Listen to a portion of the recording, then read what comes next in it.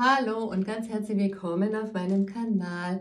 Es ist so schön, dass du, dass ihr wieder zu mir gefunden habt. Mein Name ist Monika. Ja, ganz herzlich willkommen, meine lieben Königinnen und Könige der Erde, meine lieben Stiergeborenen. Ihr dürft heute mit mir Fahrt aufnehmen in Richtung eurer Karriere. Ich habe mir gedacht, ich fahre mit euch auf dem Schiff in Richtung Karriere. Dies ist nämlich der erste Bagua-Bereich, der dem Element Wasser zugehörig ist. Und ich habe gedacht, ich bilde hier ein wenig Wasser ab. Und genau, ich habe euch hier noch den Stein von Mut und Kraft hier äh, mit dabei und den, der darf hier auch noch mitfahren auf dem Schiff. Mut und Kraft brauchen wir, ja. Und die Schlange darf noch mitfahren, denn die korrespondiert mit euch, meine lieben Stiergeborenen, in der chinesischen Astrologie. Die setzen wir mal hier dazu. So, jetzt, meine Lieben, ja, wer mehr über den ersten Bagua-Bereich der Karriere wissen möchte, der kann dies ähm, tun, wenn er mein Video aufruft. Ähm, erster Bagua-Bereich Karriere und dann erfahrt ihr sehr viel Interessantes, wie ihr diesen Bereich der Karriere in eurer Wohnung oder eurem Haus stärken, nähren und fördern könnt. Ja? Ich schaue jetzt mal mit dem Licht- und Schattentarot. Was dürfen wir denn wissen im Bereich der Karriere? Was ist denn da gerade bei euch ähm, los, meine lieben Stiergeborenen? Was mag sich denn da gerade zeigen für euch? Ich hoffe, es geht euch gut und ihr genießt gerade die wunderbare Zeit mit der vielen Sonne und dann ist man meistens doch gleich viel besser gelaunt. Ja? Hm.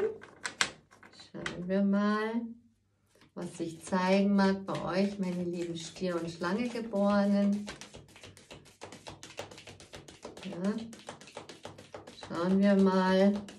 Wasserenergie hat eine hohe Anziehungskraft, ja. Ich weiß nicht, wie es euch geht, aber ich, ähm, mich zieht es immer zum See oder zum Meer hin. Ui, die ist aber ge geflogen. Die ist auch, aber die wollte nicht raus. Die noch. Schau ich mal.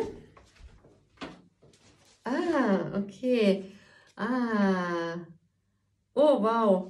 Also bei euch im Bereich der Karriere habe ich hier sieben der Münzen. Münzen sind schon mal gut für den Bereich der Karriere, weil das Geld soll ja auch ein bisschen fließen.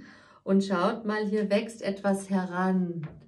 Ich habe sieben der Münzen. Schaut mal, da wächst ein Pflänzchen heran. Und zwar, ähm, genau, dieses Pflänzchen soll man hegen und pflegen. Ja, das könnte ein Projekt sein, ein neues, das ihr gerade in Angriff genommen habt.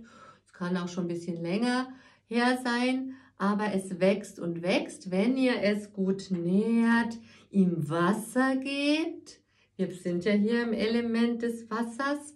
Ja, wenn ihr es äh, gut versorgt und auch mal düngt, womöglich, ja, dass es ähm, ganz viel Kraft aus der Erde ziehen kann und die Münzen äh, sind ja, also gehören ja zur Erde sozusagen. Sie Gold und Silber kommt aus der Erde, ja. Und ähm, wunderbar. Also ich stelle es mal gerade hierher, die Karte. Könnt ihr sie sehen? Ja, ich hoffe, ja. Mhm. Und ich habe hier acht der Stäbe. Also da kann etwas ganz schnell auch auf euch zukommen. Ja? Stäbe stehen immer für Aktionen, für etwas Schnelles hier. Ja? Das kann sein, dass, ähm, dass euch entweder viele Menschen kontaktieren, ja, äh, weil es hier doch acht Stäbe sind, so alle auf einmal wie so Pfeile, ja, alle wollen was von euch wollen vielleicht Auskunft oder wollen etwas mit euch gemeinsam gestalten, kommt mir gerade, ja. Das ist schon mal eine super, super Energie, ja. Schau ich mal.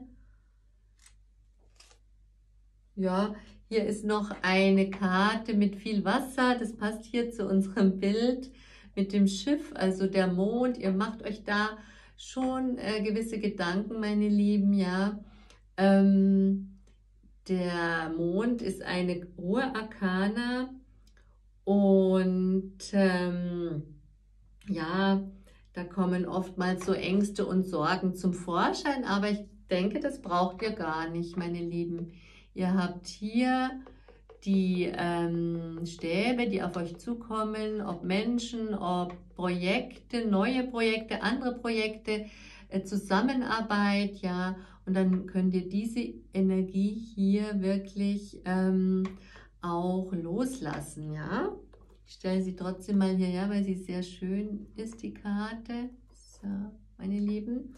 Dann schaue ich mal, welche Bachblüte euch helfen könnte in eurer momentanen Situation. Ich habe mal wieder meine Karteikarten herausgezogen und ich möchte für euch eine Bachblüte, eine von 38 Bachblüten, die auf den Dr. Edward Bach zurückgehen. Ähm, der war Homöopath und Arzt, ja. Und da kommt für euch Skleranthus. Das passt sehr gut, denn Skleranthus ist der einjährige Knäuel.